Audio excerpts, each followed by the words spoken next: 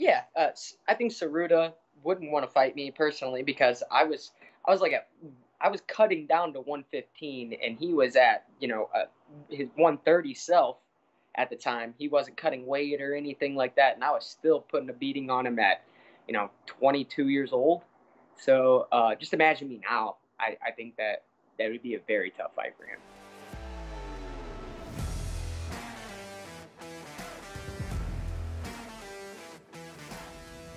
Hey, let's start off with this first, man. I remember the first time seeing you fight was for Pancrase, and I forgot who you beat. But then when you got on the mic, you just like shut everybody up in the arena, man. It was like, do you remember that? Do you remember getting on the oh. mic? Can oh, you take yeah, me back man. to that time? Yeah, that's uh, that that was not one of my favorite moments. I kind of went a little too crazy there, but um but yeah, they wanted me to call out um, uh, Tsunabe, or it was it was another another guy. I forget his name. But no disrespect or anything, but um, but yeah, I just I went all out, and um, yeah, the the spunk from from the fight still got me uh, in that mode. But yeah, I was uh, a little too crazy for it. yeah, yeah, it was one of those moments, man. I was just like, because you know, in Japan is a little bit different from other places around the world. You know, the the crowd is a little different, and also there's a language barrier. So whatever you're saying, most of the people don't know what you're talking about, right? Dude, so, I know. so, I was, uh, yeah. I I was not proud of that moment. Um, if anybody goes back and watches that on YouTube or anything like that, I uh, I really, really did not. It's, it's hard to yeah yeah, to. To, to put it into words um, because I mean after that I fought in Japan um, mm. like two or three more times and you know I got I got the feel of of how uh, Japanese fans really work and yeah that that wasn't me at all that was definitely another person but you kind of started it though, because now if you look at Rizin, I remember I saw you fight live Rizin 20, the best Rizin show I think ever that that they put on. I was there for New Year's Eve, and I saw you there after the show and everything. Um, incredible performance too. But now it's Rizin. Like the Japanese fighters are talking trash. Have you noticed that? Hey man, um, you got to sell fights. You know, throughout throughout this game, it's kind of like it's like it's like the shifts kind of like the polls shift a little bit. You know what I'm saying? I'm not trying to, to talk crap or anything like that. I'm just here to speak my truths. And um, yeah, at the end of the day, people can, can call it talking trash all they want. But I'm, I'm glad that people are, are starting to realize that, that there's a business side into this game and you got to draw viewers in because everybody has seen a fight, you know? So at the end of the day, you got to draw people in. And, and if it takes that to uh, to really get on a fighter's side or the other fighter's side, then yeah, do it, man. I, I I'm really excited that the Japanese fans are starting to do that. Yeah, and and also even in one championship, you know, it started with uh, I believe Denise Zamboanga and, and Angela Lee before she was pregnant, and they started going oh, back and forth.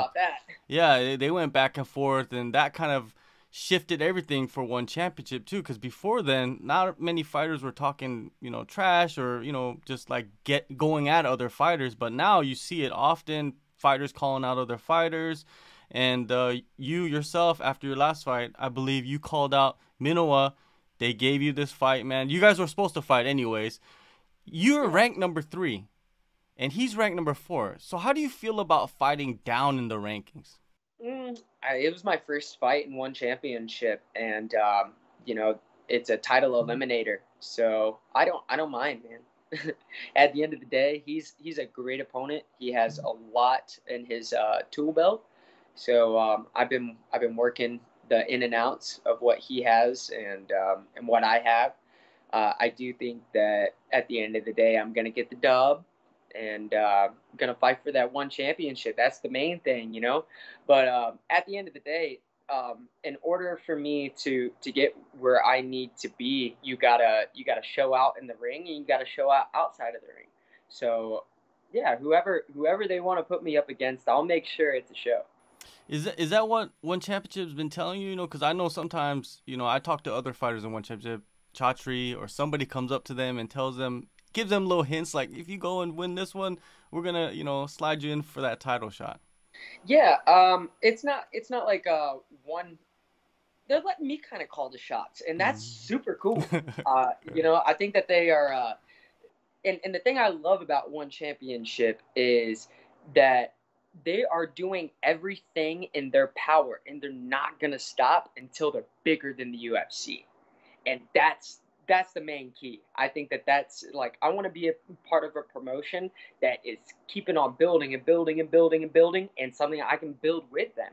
So, I mean, yeah, it, it's super exciting. Somebody like Chatri too, he has that mentality to where we're gonna get it done. He has tunnel vision. So, um, yeah, it, it's an honor to fight under him and one championship. Uh, Rich Franklin, everybody, uh, Matt Hume, everybody that has put me into the organization, and they really believe in me and believe in my skill set, and that's what I've been looking for the whole time, man. I've just been, you know, I've had to talk trash in different promotions and stuff like that to just get my name out, but now I actually have a platform to where I can, you know, spread that out and and keep it real you know, and and that's that's the thing I've wanted to do the whole time. I just wanted to keep it real, and um, I do speak my truths at the end of the day. Though, uh, whoever I'm fighting, they're gonna have a lot of mental warfare, but it's hard. It's hard with Hiroba because Hiroba, he's a very quiet kid.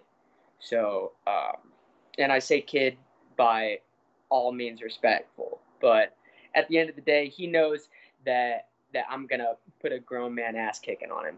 Well, you know, when you check him out, and uh, he is a former Shooto champion, so very skilled. You, you, have a lot of respect for him. You know, what do you see in his skill set, though? Super calm, super relaxed. Everything that he does, he's not a first round fighter. He's a third round fighter. So um, you gotta you gotta come correct at every, and he's very technical. Uh, people don't give him enough credit what he's actually done in the amount of time that he has. He's been fighting since he was like eight in junior Shooto. So uh, I've definitely done my research on on Hiroba, and he has a lot of things that I have to worry about, but um, but he has a lot of things to worry about as well. Uh, no disrespect or anything like that, but he's gonna he's gonna figure out real quick that I'm not in there to play any games. And I seen that Chatri just put out 150 thousand dollars in the last um, one championship uh, event. So I'm I'm looking for that fifty thousand dollars, and I'm looking for a title shot. So yeah, you're in my way, Hiroba. You're gonna get it. Definitely, definitely. They should have put the fifty thousand dollars at the last show, right? like you know, you would have got it. I beat Earl. I mean, I beat like the main guy, like yeah. the toughest guy in the division. But hey, no disrespect, I'm still super happy to just be involved into the organization and just be where I was, you know. So, um, under the circumstances, I, you got to fight for it. So, and Chatri was there for this event, so he could actually, you know, see the event and, and watch it, you know, play out. But yeah, I'm I'm looking forward to making some real money and making some real waves in the strawweight division. He, you just said he's a, a third round fighter, which means that he does not start so fast and we've seen that in his first two fights with one championship, eking out some split decisions right there. You know, I mean, against yeah. tough guys, but still eking them out. Do you feel like yeah. that's gonna be his his poison against you? Is starting so slow?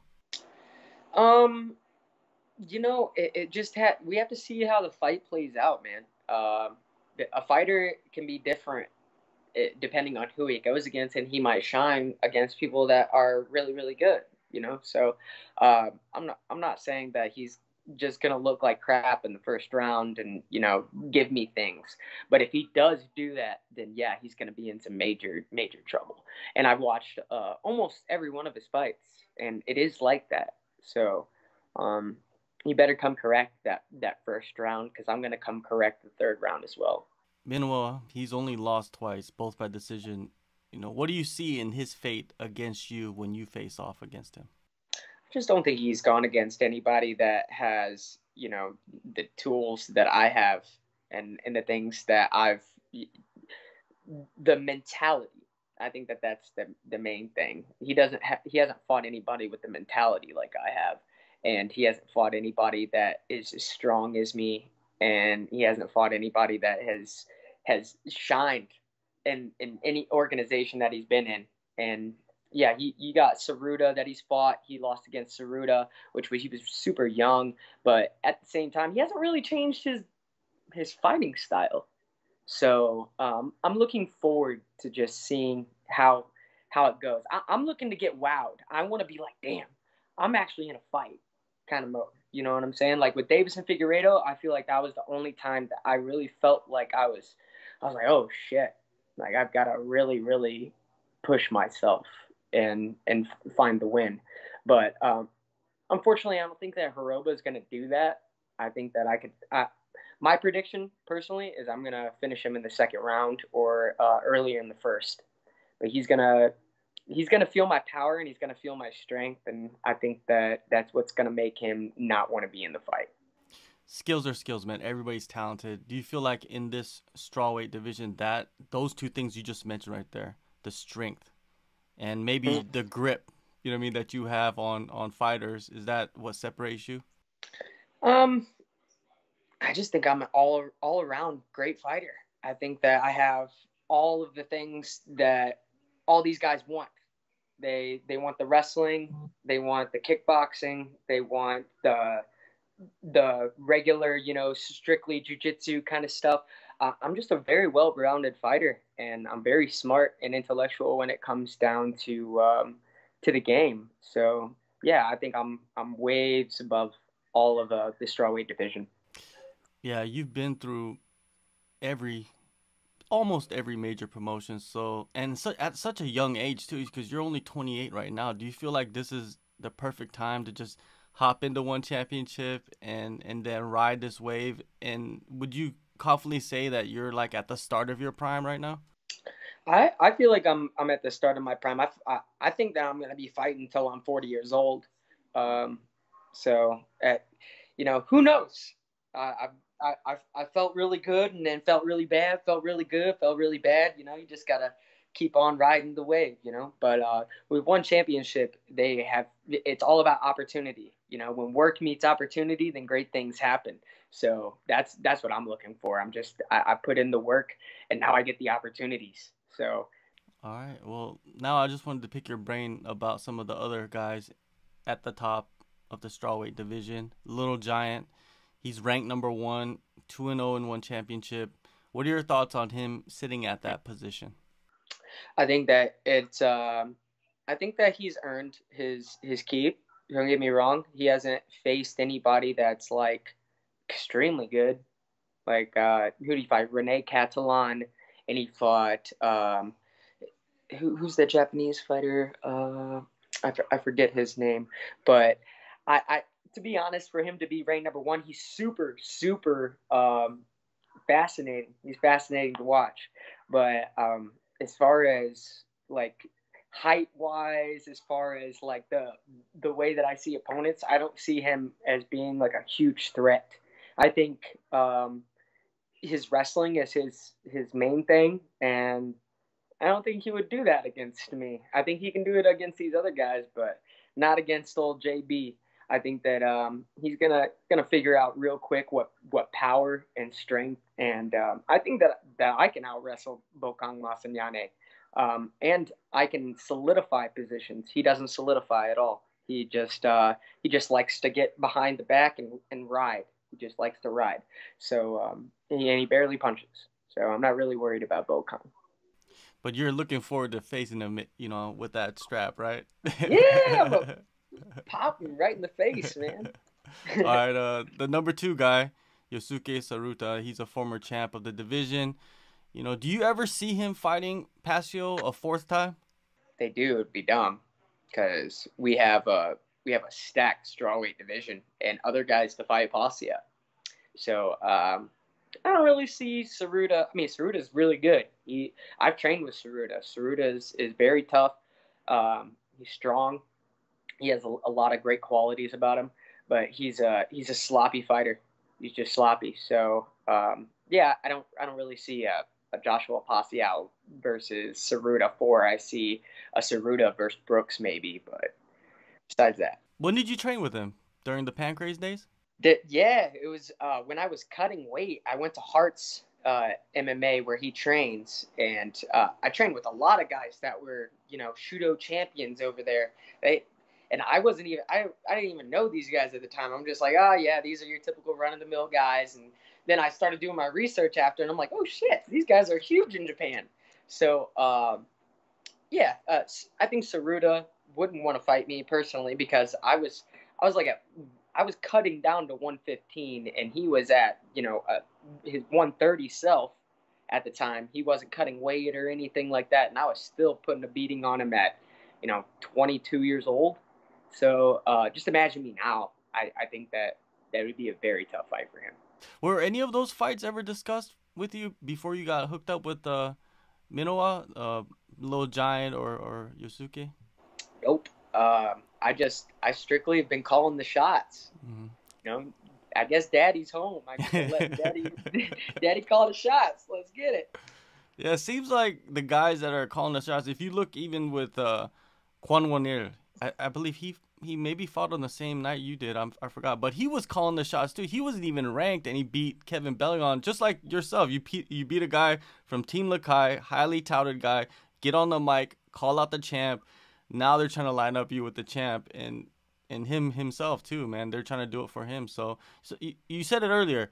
There's a business side to it. You have to be outspoken. You can't just win fights. You have to try to demand some some things, right, as a fighter.